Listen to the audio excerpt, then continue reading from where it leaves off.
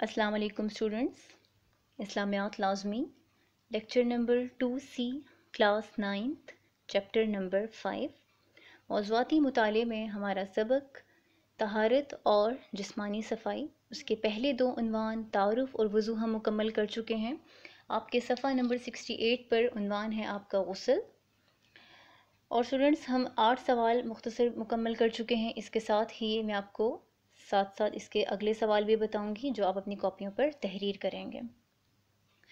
गसल, जो आपका उनवान है, उसका सवाल नंबर नौ आप तहरीर करेंगे कि गसल से क्या मुराद है? इसके साथ ही कि मैं आपको इसका इब्तदाई तारुफ पढ़ के सुनाऊँ तो आप इसका जवाब भी साथ साथ नोट करते जाइएगा। इसका जवाब आप यूँ तहरीर करेंगे कि गसल के मानी नहाने के हैं। तहारत और सफ़ाई के लिए पूरे जिस्म को पानी और किसी साफ़ करने वाली चीज़ के इस्तेमाल से ऐसे धोना कि मैल जरासीम पसीने के असरात दूर हो जाएँ गसल कहलाता है। यहाँ तक है आपका जवाब नंबर नौ। उर्दू ज़ुबान में गसल के मानी नहाने के हैं। अगर जिसम पाक ना हो तो वज़ू से पहले गसल करना वाजिब है। हमने पढ़ा था कि किसी भी इबादत के लिए वज़ू करना शर्त है। लेकिन अगर आपका जिसम पाक नहीं है तो वज़ू से भी पहले शर्त है कि आप गसल करेंगे। इसके अलावा इंसान को साफ़ सुथरा रखने के लिए भी नहाने की तरगीब दी गई है, क्योंकि सफ़ाई निसफ ईमान है और सफ़ाई सुथराई इस्लाम में पसंदीदा है। तो इसलिए भी साफ़ सुथरा रहने के लिए भी नहाने की तरगीब इस्लाम में दी गई है। सवाल नंबर दस, स्टूडेंट्स, आप इसके साथ ही बनाएँगे कि किन मौाक़े पर गसल करना मसनून है। चुनाचे नबी करीम सल्लल्लाहु अलैहि वसल्लम ने जुम्मे के दिन गसल करने को हर मुसलमान के लिए मसनून करार दिया है। इसी तरह से ईदैन, यानी दोनों ईदें ईद फितर और ईद अज़हा और उम्र व हज के लिए अहराम बांधने से पहले नहाने को भी अपनी सुन्नत में शामिल किया है। इन तमाम मौाक़े पर नहाना बेहतर और मसनून है। यानी ये जो तीन आपको मौाक़े बताए गए हैं रसोल्ला सल्ला वसम इन मौाक़े पर नहा, नहाते थे, गसल करते थे और ये उनकी सुन्नत में शामिल है। सवाल नंबर दस, किन मौाक़े पर गसल करना मसनून है? आप इसका जवाब यूँ भी तहरीर कर सकते हैं कि दर्ज झैल मौाक़े पर गसल करना मसनून है। नंबर एक, हर जुम्मे के दिन नमाज़ जुम्मा से पहले। नंबर दो, ईद और ईद अज़हा के दिन नमाज़ ईदैन से पहले। नंबर तीन, हज और उम्र के लिए अहराम बांधने से पहले।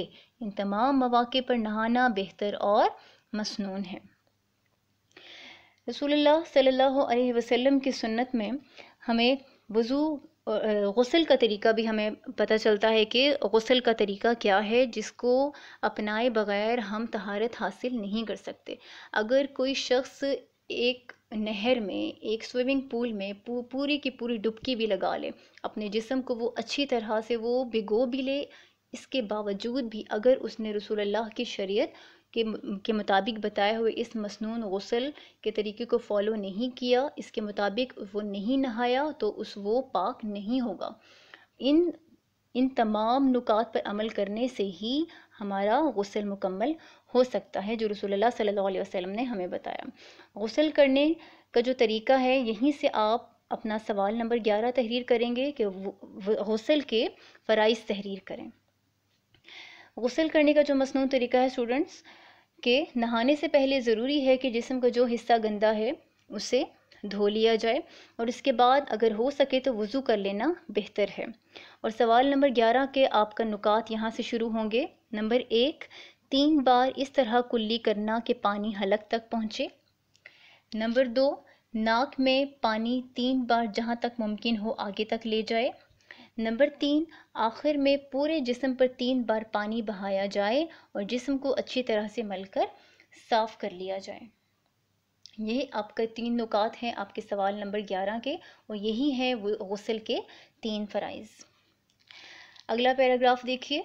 कि बहरहाल मर्द और औरत के लिए ज़रूरी है कि इस तरह नहाए कि जिस्म का कोई हिस्सा और कोई बाल खुश्क ना रहे। आपके जिस्म का कोई बाल और कोई हिस्सा खुश्क नहीं रहना चाहिए, वरना गसल नहीं होगा। जिस तरह से वज़ू में कोई हिस्सा खुश्क नहीं रहना चाहिए, अज़ा का, इसी तरह से जिस्म का भी कोई हिस्सा अगर खुश्क रह गया गसल के दौरान तो भी गसल मुकम्मल नहीं होता।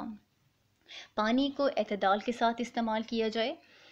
रसूलुल्लाह सल्लल्लाहु अलैहि वसल्लम की शरीयत हमें, उनका तरीका हमें यही बताता है कि अगरचे आप नहर के किनारे भी वज़ू कर रहे हों या गसल कर रहे हों और पानी वाफिर मकदार में आपके पास मौजूद है तो भी रसूलुल्लाह ने हमें अतदाल के साथ पानी इस्तेमाल करने का हुक्म दिया है।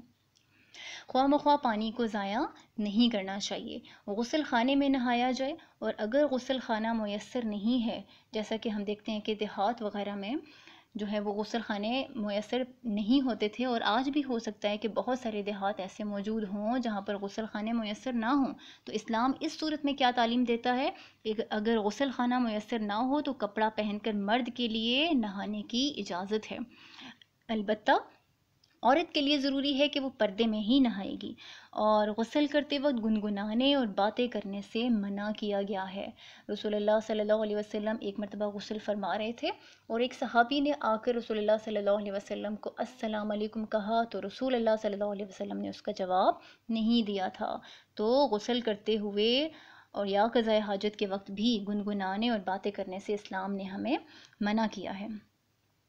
शरीयत ने जो तरीके मुकर किए हैं, उनका मकसद इंसान को नुकसान या तकलीफ़ पहुंचाना नहीं है कि इंसान ने पाबंद कर दिया है कि इन तरीक़ों को अपनाओगे तो ही जो है वो तुम्हारा जो है वो दीन मुकम्मल होगा। बल्कि इन तमाम तरीक़ों में हमारे लिए आसानियाँ हैं, हमारे लिए फ़वाद हैं, ये हमारे फ़ायदे की बातें हैं।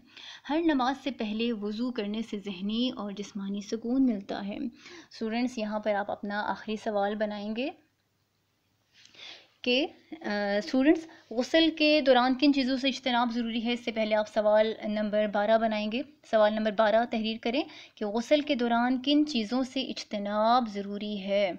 इसका जवाब आप लिखेंगे यहाँ से कि पानी अतदाल के साथ इस्तेमाल किया जाए, गसल खाने में नहाया जाए और गसल करते वक्त गुनगुनाने और बातें करने से इजतनाब किया जाए। ये तीन नुकात आप अपने सवाल नंबर बारह में लिखेंगे और इसके साथ ही आपका आखिरी सवाल सवाल नंबर तेरह होगा कि तहारत के फ़वाद तहरीर करें। आपके सफ़ा नंबर सिक्सटी एट और सिक्सटी नाइन पर तहारत के आठ फ़वाद हैं, जिसमें से आप कोई से चार तहरीर कर सकते हैं। हर नमाज़ से पहले वज़ू करने से जहनी और जिस्मानी सुकून मिलता है। इंसान साफ़ सुथरा रहता है, उसकी थकावट भी दूर हो जाती है, नहाने से पूरा जिसम साफ़ हो जाता है। इसी तरह सफ़ाई के बाईस बीमारियों से काफ़ी हद तक महफूज रहता है। ये तो वो फ़वाद हैं जो कि हमें ज़ाहरी तौर पर हासिल होते हैं। वज़ू करने और नहाने से ज़ाहरी सफ़ाई तो हासिल होती है और रूहानी भी हासिल होती है। इबादत और काम करने में लुत्फ़ आता है और इसी तरह इबादत भी कबूल होती है, जो कि शर्त है हमारे लिए, हमारे दीन में कि सफ़ाई और सुथराई से, के साथ ही इबादत की जाए और काम करने की सलाहियत भी बढ़ जाती है।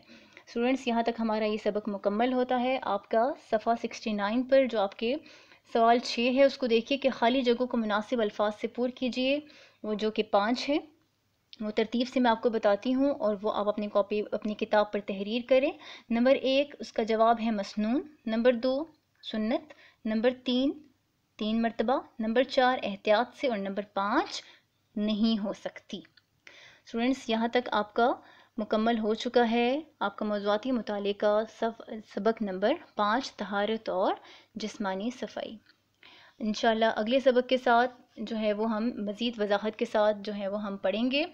तब तक के लिए इस, इन दो इसबाक को, ज़क़़त को और तहारत के इसबाक को इसको दोहराइए और अपनी प्रैक्टिस में लेकर आइए। खुश रहिए। अस्सलाम वालेकुम व